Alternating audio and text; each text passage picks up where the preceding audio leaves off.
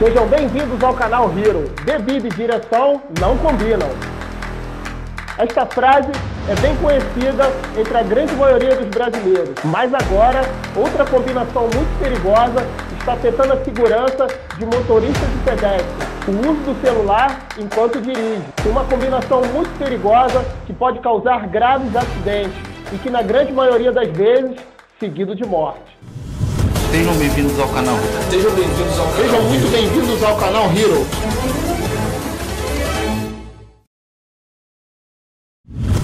Os smartphones estão espalhados por todo o território nacional. Praticamente todo mundo tem. Hoje é quase impossível encontrar alguém que não use o celular para se comunicar através de ligações ou por mensagens e redes sociais.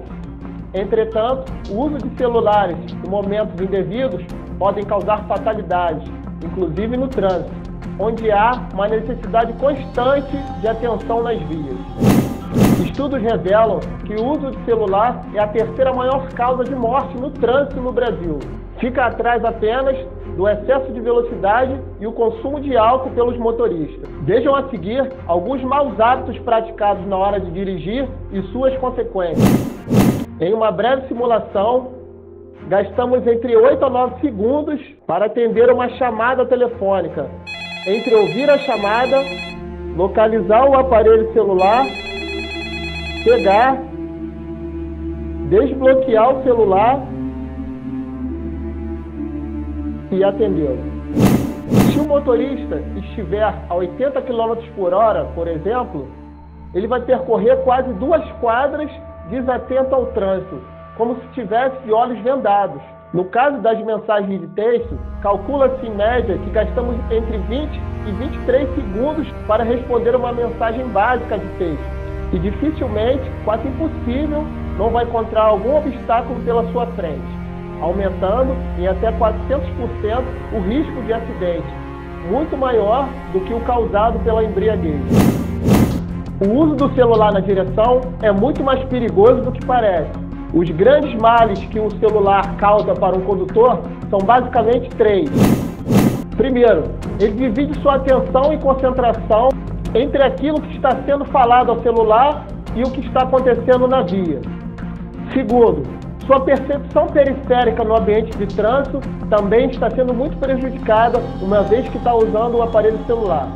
Terceiro, o tempo de resposta de um condutor que está à frente do obstáculo, ou de um sinal de trânsito que está quase fechando, ou um pedestre passando, também está bem lento. O uso excessivo de celulares pelos pedestres também acaba contribuindo para os acidentes de trânsito, uma vez que não se atentam para o seu deslocamento nas vias, as sinalizações e as viaturas de emergências que podem passar por ali. A criação de um programa permanente de educação para o trânsito, voltado para os alunos do ensino fundamental 1 até o ensino médio, seria uma ótima medida a ser tomada. Outra medida de segurança é na hora de atender uma ligação ou responder uma mensagem de texto, estacione seu veículo no local seguro e só retorne a dirigir assim que terminar a sua utilização. Outra medida de segurança que dá muito certo é você colocar o seu aparelho em modo silencioso de preferência dentro de uma bolsa e no banco de trás. Essa medida vai desencorajar você a utilizar seu aparelho telefônico enquanto dirige. Até quando estamos dispostos a perder irmãos, tios, sobrinhos, parentes e até mesmo nossa própria vida em prol de eventualmente atender uma ligação ou responder uma mensagem que por muitas das vezes não tem tanto sentido assim ou tanta urgência assim. Sua vida é muito importante. Vamos ficando por aqui e até a próxima.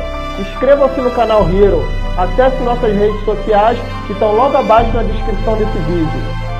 Faça sua parte, curta e compartilhe nossos vídeos. Você pode ajudar a salvar muitas vidas.